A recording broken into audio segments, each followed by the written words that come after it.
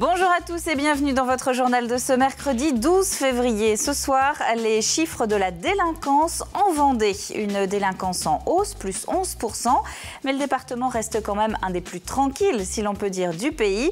Les détails, les disparités aussi entre le littoral et les terres, c'est dès le début de ce journal.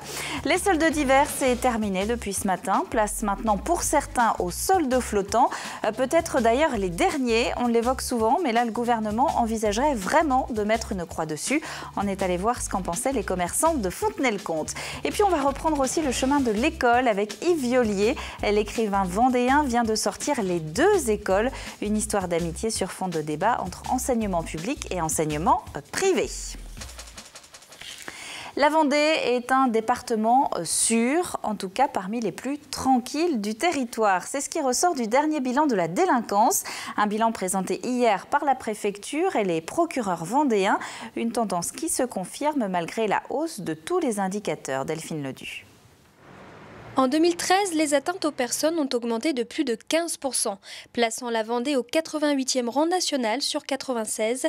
Le département se situe donc parmi les moins criminogènes. Autre hausse constatée dans les tribunaux vendéens, les violences conjugales.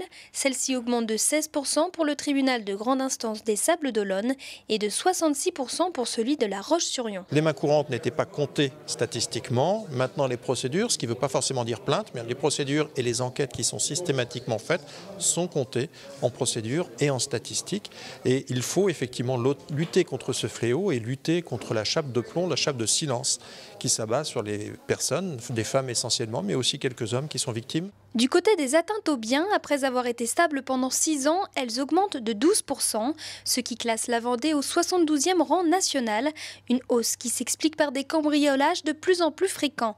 Par exemple, plus 5% pour le tribunal de la Roche-sur-Yon, mais là encore, la Vendée reste l'un des départements les moins touchés. Certains territoires peuvent concentrer, compte tenu de la fréquentation touristique ou compte tenu de leur urbanisation croissante, euh, des phénomènes de, délinquance, je pense notamment au, cambriolage. Cet effet de, concentration peut, expliquer hein, le, ressenti d'une partie de la population. C'est pour ça que dans la réponse à, ces phénomènes, il y a une territorialisation de notre dispositif avec euh, des renforts de moyens, euh, des actions contractuelles avec les communes, comme le dispositif voisin vigilant, qui permettent de répondre au cas par cas à ces caractéristiques particulières à certaines communes ou à certains territoires. Un taux de délinquance en progression donc, mais un taux d'élucidation qui augmente également. Enfin, du côté de la sécurité routière, les accidents de la route ont diminué. À noter une baisse historique concernant le nombre de tués, 35 en 2013 contre 51 en 2012. Un chiffre jusque-là jamais atteint et qui se rapproche de la moyenne nationale. Les violences conjugales sont donc en forte hausse puisque vous l'avez entendu, les mains courantes n'étaient pas prises en compte dans les chiffres de la délinquance jusqu'à cette année. Elles le sont euh, désormais. Alors plus largement, au cours de sa vie, une femme sur trois euh, serait victime de violences ou de viols. Euh, c'est pour dénoncer cette situation que la compagnie Cadence relance sa participation, votre participation à One Billion Rising, un mouvement planétaire prévu vendredi. Rendez-vous aux flâneries à La Roche-sur-Yon pour une flash mob avec les danseurs de Soulaboula euh, pour s'entraîner. D'ici là, vous pouvez retrouver la chorégraphie euh, sur le site internet qui s'affiche à l'écran. Et puis du côté des herbiers, euh, c'est plutôt au démarchage abusif qu'on s'intéresse. Le CLIC, le Centre local d'information et de coordination, a organisé hier une grande réunion destinée aux plus de 60 ans du canton. L'idée, les alerter et leur donner des astuces pour éviter de tomber dans le piège de quelques vendeurs à domicile peu scrupuleux. Aurélia Horner. Ça arrive. si Suzanne est ici aujourd'hui, c'est qu'elle se sent directement concernée par la question. En 2007, alors qu'elle taillait ses lauriers dans son jardin, on est venu lui proposer de nettoyer sa toiture, ce qu'elle refuse dans un premier temps. Au bout de 25 minutes, euh, on m'a demandé un verre d'eau. Alors moi, j'ai jamais refusé d'eau à personne. J'ai pensé leur apporter de l'eau dans le jardin. Ah ben non, ils m'ont suivi. Et alors là, ben, ils, m'ont baratiné, baratiné. Ils avaient du, produit prêt. Ils allaient nettoyer mes dalles. Ils ont envoyé le petit jeune nettoyer les dalles à midi à peu près. Ils m'ont demandé une avance. Ils m'ont fait faire un, ils m'ont fait un devis que j'ai signé de 1600 euros Et ils m'ont fait faire une avance de 400 euros. Et je ne sais pas sous l'emprise de quoi j'étais, mais j'ai fait un chèque de 400 euros. Suzanne a été victime d'une des techniques couramment utilisées dans le cadre d'un démarchage abusif ou encore de vol par ruse. Et c'est justement la raison de cette réunion, informer et prévenir toute personne vulnérable des risques qui existent.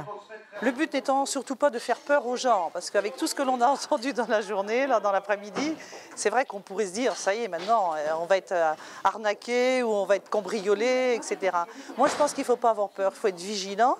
Une information en deux temps. D'abord sur ses droits en tant que consommateur, puis sur les délits couramment constatés, avec quelques astuces pour s'en prémunir. D'abord la vigilance, hein, bien sûr, lorsque des gens viennent, quand s'y attend pas, vérifier bien le bien fondé de leur présence chez vous, à votre domicile, et ensuite prévenir tout de suite si vous pensez qu'il y a eu un, qu'il y a un problème, s'il y a un doute, informer immédiatement la gendarmerie. Il faut allumer la lumière, crier, essayer d'avoir par devers vous, dans votre chambre, un téléphone pour pouvoir faire le 17. Si Suzanne ne récupérera sans doute jamais ses 400 euros, au moins cette réunion aura-t-elle permis à d'autres personnes d'éviter d'être victimes à leur tour.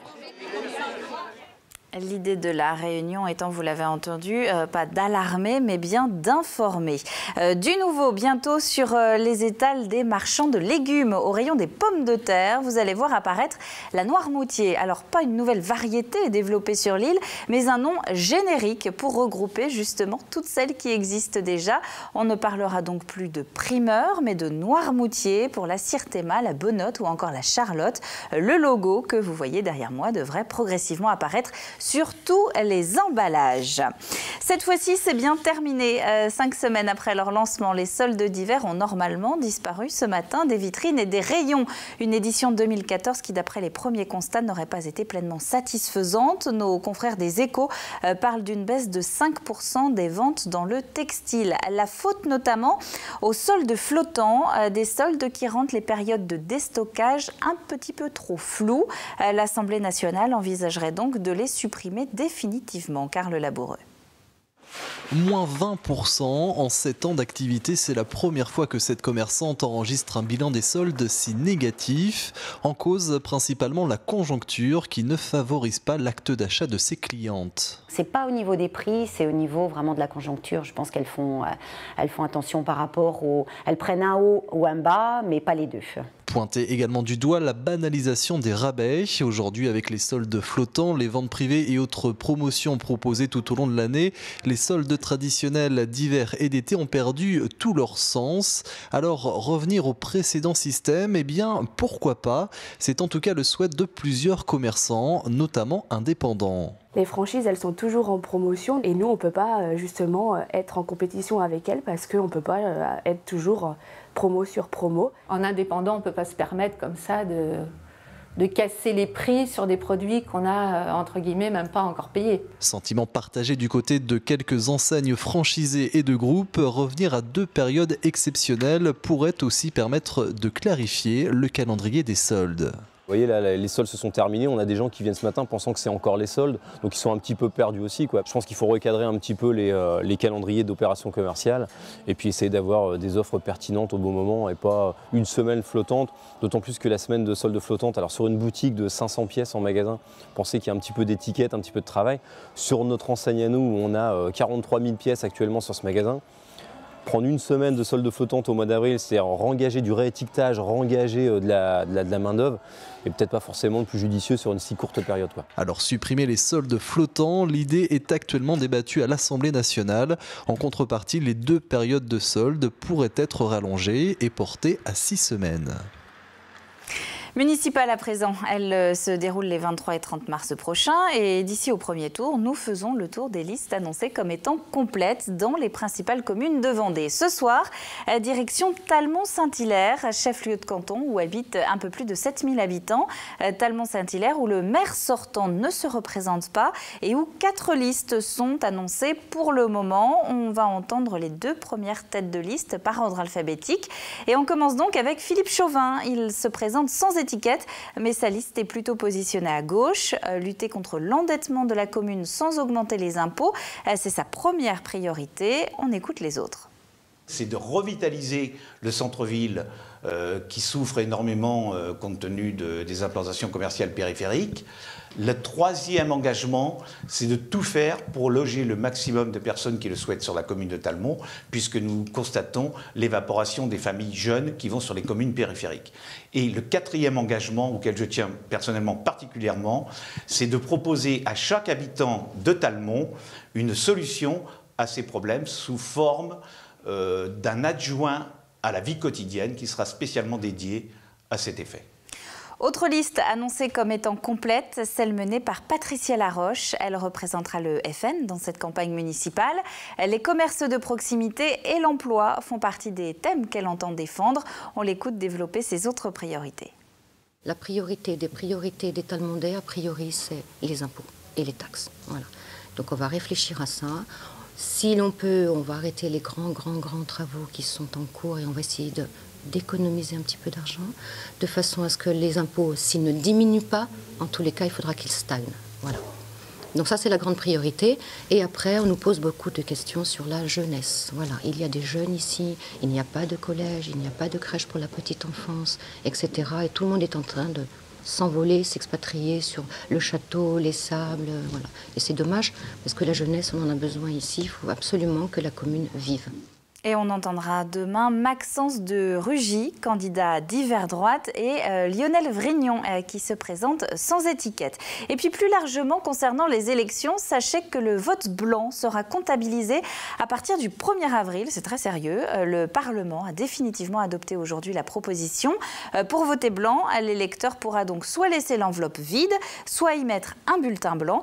premier scrutin concerné par cette décision, les élections européennes du 25 mai prochain Saint-Hilaire-de-Riez part euh, à la chasse aux souvenirs. La ville lance une grande collecte auprès de ses habitants euh, pour réunir des archives, des imprimés, des vêtements, des objets, bref, tout ce qui a un lien avec la guerre 14-18.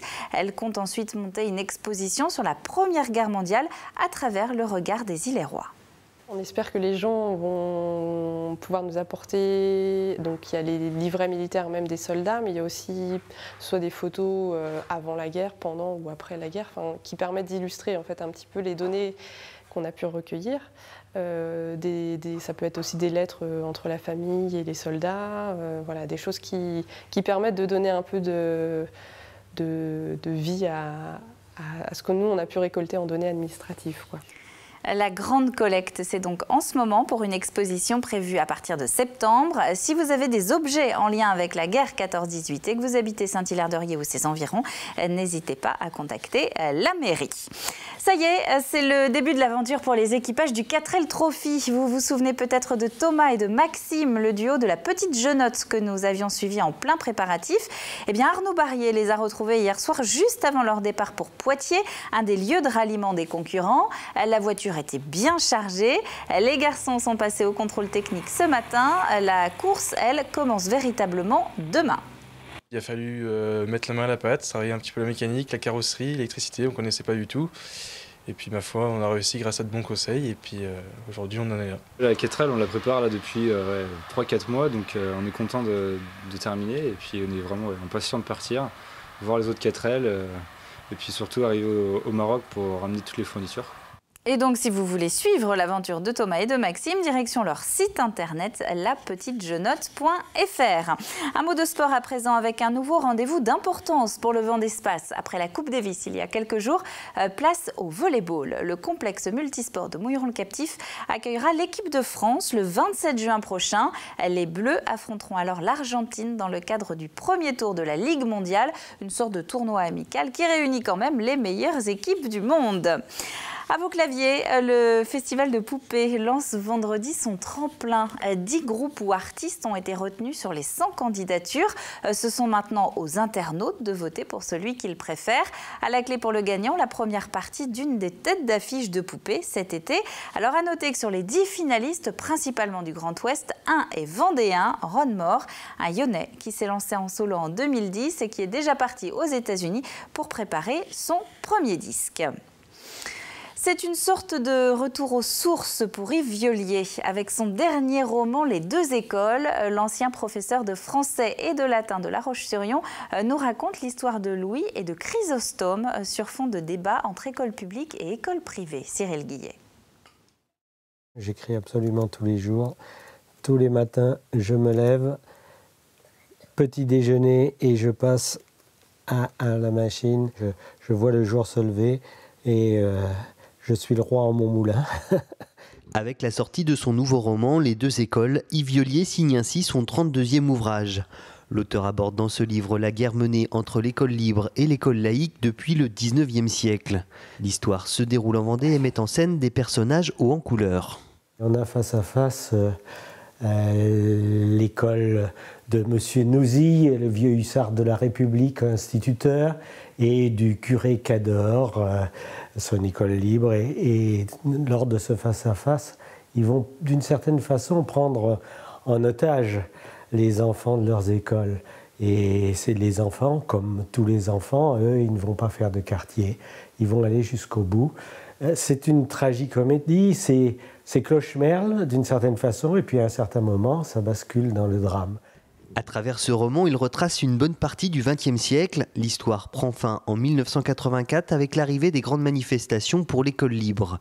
Une véritable leçon d'espérance et de tolérance adressée à tous ceux qui pourraient douter du pouvoir guérisseur des sentiments. Je crois que les lecteurs pourront rire en, lisant les aventures de, de ce Cador et de ce Nouzi qui sont à leur manière un, un, et donc un Millot, mais aussi, ils pourront sentir aussi toute la souffrance qui a été celle des gens qui ont vécu ces combats.